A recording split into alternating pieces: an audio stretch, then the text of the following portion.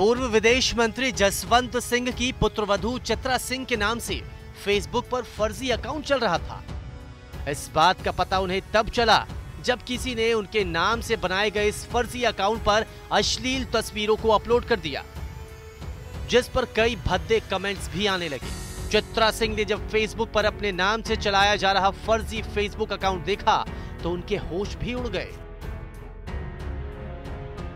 पूर्व विदेश मंत्री जसवंत सिंह की पुत्रवधू चित्रा सिंह ने एक कंप्लेंट दर्ज करवाई है, जिसमें कहा गया है कि उनके नाम से फर्जी फेसबुक आईडी चलाई जा रही है, जिस पर एसपी ने तत्काल कार्रवाई करते हुए फेसबुक को लेटर लिखा है और अब उस फर्जी आईडी चलाने वाले की तहकीकात शुरू हो गई है। इस वाक्य के बाद चित्रा सिंह अपने पति मानवेंद्र सिंह के साथ एसपी दफ्तर पहुँच गई और लिखित में अपनी शिकायत भी दर्ज करवाई। देखिए यहाँ से पूर्व एमपी और एमएलए रहे हुए श्री मानवेंद्र सिंह जी की धर्मपत्नी श्रीमती चित्रा सिंह जी की तरफ़ से एक कंप्लेंट इस कार्यालय को प्राप्त हुई थी। उसमें फेसबुक के कोई कमेंट्स और कुछ पिक्चर्स के मामले को दे के शिकायत है।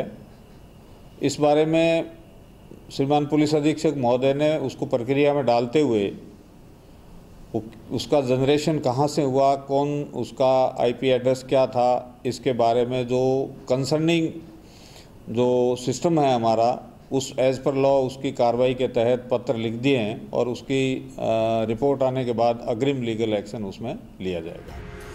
पूर्व सांसद मानवेंद्र सिंह की पत्नी चित्रा सिंह के नाम से फेसबुक पर यह फर्जी अकाउंट काफ़ी वक्त से चलाया जा रहा था। यहाँ तक कि पिछले लोकसभा चुनाव में जब मानवेंद्र सिंह ने जैसलमेर, बाड़मेर से कांग्रेस की टिकट पर चुनाव लड़ा था, तब भी चुनावी गतिविधि को इस अकाउंट पर अपलोड किया जा रहा था। लेकिन पिछले कुछ दिनों से इस अकाउंट पर आपत्तिजनक पोस्ट अपलोड किए जाने लगे, जिसका पता लगते ही पुलिस को खबर दी गई। पुलिस ने आरोपी की सरगर्मी से तलाश शुरू कर दी है, ताकि जल्द से जल्द उसे सलाखों के पीछे पहुँचा दिया जाए। राजस्थान तक किसी भी महिला के साथ ऐसी अभद्रता की आलोचना करता है, लेकिन बड़ा सवाल तो ये है कि एक बड़े राजनीतिक परिवार की महिला सदस्य के साथ अगर ऐसा हो सकता है तो एक आम महिला के लिए साइबर सुरक्षा का स्तर राज्य में क्या है? राजस्थान तक के लिए बाड़मेर से दिनेश बोहरा की रिपोर्ट।